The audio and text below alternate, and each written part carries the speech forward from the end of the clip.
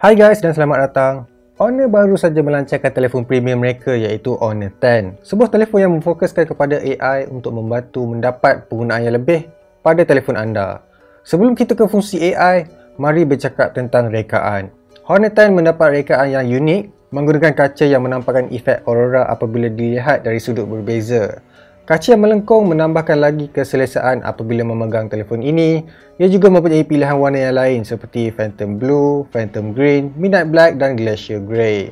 Pada ketinggian 149.6mm terasa kecil di tangan mungkin disebabkan saya biasa menggunakan peranti yang bersaiz besar. Telefon ini mempunyai 3.5mm headphone jack dan USB-C untuk pengecasan, butang kuasa dan volume pada sebelah kanan Bergerak ke atas mempunyai IR blaster untuk mengawal peralatan elektronik yang lain juga berfungsi sebagai alat kawalan. Beralih ke skrin, ia mempunyai skrin bersaiz 5.84 inci yang mana agak kecil berbanding telefon yang saya gunakan. Sejenis IPS dan mempunyai resolusi Full HD Plus bersama notch pada bahagian atas yang dapat memberikan pemandangan tahun 2018. Notch ini terdapat kamera hadapan, earpiece dan ambient light sensor Honor meletakkan pengibas siap jari pada bahagian bawah.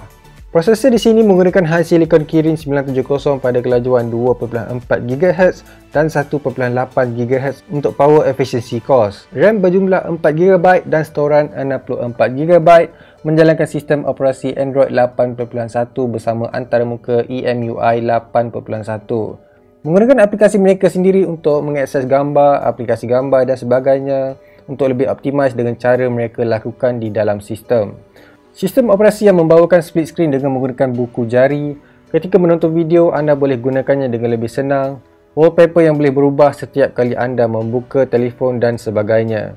Terdapat pelbagai pilihan yang berada di quick setting seperti eye comfort mode, ultra battery, screen recording dan banyak lagi. Bateri berkapasiti 3400 mAh menyokong supercharge daripada Huawei sendiri yang dapat bertahan selama 4 jam penggunaan seperti membuka aplikasi, multitasking, mengambil gambar dan sebagainya. Dua kamera di sini menggunakan 24MP f1.8 dan 16MP sensor mampu merakam 4K video. Kamera hadapan juga 24MP akan tetapi hanya dapat merakam 720p sahaja. Ianya turut mempunyai efek stage light seperti yang terdapat pada iPhone AI mode untuk mengesan gambar yang anda mahukan dan mengubah setting sebaik mungkin bagi mencantikkan imej yang ditangkap.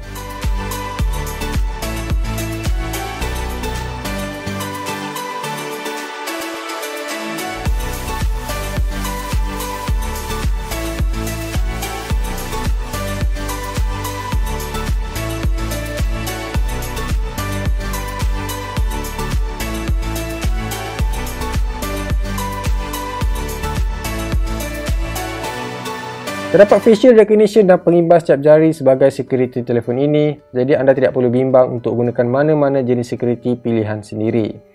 Pengalaman menggunakannya juga terasa pantas dan tidak mempunyai masalah ketika cahaya malap dan sentiasa efisien. Rasanya ini pertama kali saya melihat fingerprint berada di bawah kaca skrin yang sama dinamakan sebagai ultrasonic under glass fingerprint. Bintik kecil ini hanya untuk menunjukkan di mana kedudukan sensor saja dan nampak sekata dan cantik. Gaming, saya berkesempatan untuk mencuba PUBG Mobile 0.5.0 terbaru sebentar tadi. Dan saya boleh katakan ianya dapat bermain pada frame rate yang tinggi juga resolusi yang tinggi tanpa sebarang masalah. Walaupun bagaimanapun notch tidak menghalang pada aplikasi ini kerana ianya telah dioptimiskan bersamanya kecuali Instagram. Baiklah tentang Honor 10 ini, ia menawarkan spesifikasi flagship Kirin 970 Skrin tidak begitu besar dan tidak terlalu kecil untuk tahun 2018 EMUI 8.1 bagi saya sudah cukup baik dan mesra pengguna. Kelemahan mungkin tidak mempunyai IP certificate tetapi ianya bergantung kepada anda sama ada memerlukan fungsi ini atau tidak. Dan ia tidak menggunakan Bluetooth yang terbaru yang mana melihat hampir semua flagship sudah pun beralih ke Bluetooth 5.0. Pada masa ini ia belum lagi dilancarkan secara rasmi dan kami belum menerima maklumat tentang harga yang ditawarkan jadi setia menonton di channel kami untuk kemas kini pada masa akan datang. Macam biasa guys, tinggalkan like dan subscribe. Kita berjumpa lagi di video seterusnya.